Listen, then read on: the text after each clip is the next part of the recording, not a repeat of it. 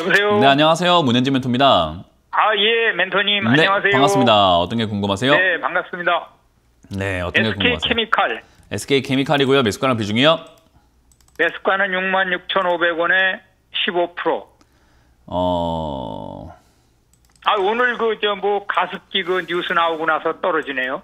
음, 네, 뭐 가습기 뉴스랑 뭐 큰 상관은 없습니다. 뭐 이런 가습기니 뭐니 이런 거는요, 별로 뭐 의미가 있다라고 볼 수는 없어요. 이미 뭐 선반영도 돼 있는 네. 거고 주식은 뉴스 따라 움직이는 게 아니에요. 뉴스는 아무 의미가 예. 없어요. 그냥 주가가 내려가면 내려가는 거, 올라가면 올라가는 겁니다. 어, 그러니까 아, 아무 예. 의미가 없어요. 예를 들어가지고 오늘 이거 지금 시청자님 들고 있다 보니까 SK 케미칼이 오늘 좀 떨어지는 거 보니까 아 오늘 떨어지는 이유가 뭐지? 뉴스 검색해 보니까 아 가습기 뉴스 나왔네. 네, 가습기 네, 네. 때문에 떨어졌다라고 생각을 하시잖아요, 그죠? 자, 네, 네. 우리가 차트를 볼 때 지금 요 과거 차트를 보면서 여기가 좀 싸다 싶어가 사셨을 거라는 거예요, 그죠? 예, 예. 어, 근데 주가가 올라갈 때 이유, 내려갈 때 이유 전부 다 아십니까? 매 순간마다. 모르죠. 네, 그 관심도 없잖아요, 그죠? 네, 네. 네. 아, 아무 상관없어요. 그러니까 그 뉴스 아무 상관없어요. 내가 들고 있고 지금 오늘 뉴스를 보니까는 이 뉴스 때문인갑다 생각을 하는 거지 아무 상관없는 네. 거예요. 과거에 올라갔을 아, 때도. 올라갈 때 올라가는 거고 내려갈 때 내려가는 거예요, 그냥. 그러니까 네. 단순 흐름이다라고 생각하시면 되고요. 단순 흐름 속에서 얘는 지금 어, 이 아래쪽으로 봤을 때는 5만 7천 원에서부터 위쪽으로 봤을 때는 7만 원까지가 올라갔다 내려가는 종목이구나 생각하면 돼요. 7만 원까지 가니까 아. 그냥 지가 뭐, 뭐 가습기니 뭐니 하고 떨어지는 거예요.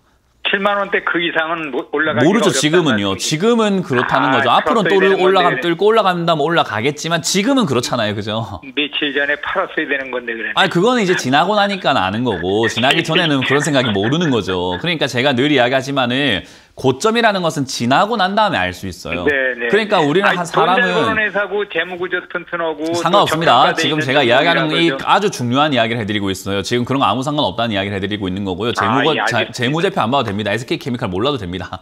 이 회사가 뭐 하는 회사인지 SK 케미칼 아, 뭐 이름도 몰라도 돼요. 어, 나 네가 어, 무슨 종목 샀습니까? 몰라요. 근데 66,500원 샀어요. 이것만 기억하시면 돼요. 그럼 얘가 아, 지금 예. 어떻게 움직이나 57,000원부터 7만 원까지 움직이고 있다는 이 사실만 기억하면 돼요.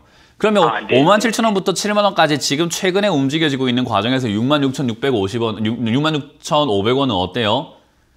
어떤 자리인 것 같으세요? 57,000원부터 7만 원까지 움직이는데 얘는 올라가면 3,500원 올라갈 수 있어요. 내려가면은 많이 거의. 만 원 떨어지거든요. 네. 그럼 우리가 돈 벌기 좋은 자리일까요? 돈 벌기 좀 안 좋은 자리일까요? 아, 좀 안 좋은 자리인 것 예, 같아요. 그러면 우리가 다시 바로 잡을 가능성이 있는 거죠. 어떻게 해요? 팔았다가 다시 사면 되잖아요. 네, 맞습니다. 네, 그것만 기억하면 된다는 거예요. 내가 SK 아, 예, 케미칼이 뭐 알겠습니다. 재무가 어떻고 가습기가 어떻고 뉴스가 어떻고가 아니라 아 내려가면 올라가는 기업이네. 어디서 5만 7천 원에서 아 맞습니다. 올라가면 떨어지는 기업이네. 어 7만 과감하게 원에서. 아 아니요 또 그거는 그렇게 생각하시면 주식 진짜로 발전이 없어요. 이건 제가 확실하게 말씀드리지만은 과감하게 예. 털었어야 되는데라는 것은 이렇게 내려가니까는 과감하게 털었어야 된다고 생각한 거고 저도 7만에서 떨어지는 거는 지금 떨어졌기 때문에 7만에서 떨어진다고 생각하는 거예요. 네. 그러니까 만약에 시청자님이 만약 월요일에 상담을 했다면 제가 여기서 떨어진다는 생각 저도 못했을 것 같아요. 왜냐하면 안 떨어졌잖아요. 그러니까 알겠습니다. 제가 주식은 예. 항상 이야기하는 게 제 방송을 많이 보시면 알겠지만은 올라올 때 목표가를 정하고 어디까지 올라간다 정하고 팔려고 하지 마시고 그냥 수익 나면 팔아라라는 이야기를 많이 해드리- 해드리는 거예요. 만약 수익 났으니까 만족하고 팔았다면은 오늘 같은 날은 좋은 날이 됐겠죠, 그죠? 맞습니다. 네, 그러니까 어디까지 간다, 더 간다 이런 생각하지 마시고 매도를 하는 습관을 좀 들이시라. 그냥 분할 네, 매도를 알- 통해 잘 가지고 그냥. 아무 생각 없이 매도하시는 것이 가장 좋고 지금 이 종목을 어, 5만 7천 원까지 떨어지면 다시 사시는 게 좋고요. 어, 7만 원까지 예. 올라가면 빠지는 경향이 있다 보니까 그 7만 원까지 가까워지면 가까워질수록 분할 매도를 해가지고 수익을 내면 되지 않느냐. 그리고 아, 예, SK 잘 케미칼은 저는 장기적으로 가져갔을 때 별로 좋은 기업이라고 생각 안 합니다. 방송에서 여러 번 설명해 드렸어요. 그래서 어, 저는 이거 지금 경기 침체기에 SK 케미칼과 같은 이런 기업들은 투자하는 건 별로 좋지 않다는 조언까지도 드려보도록 할게요.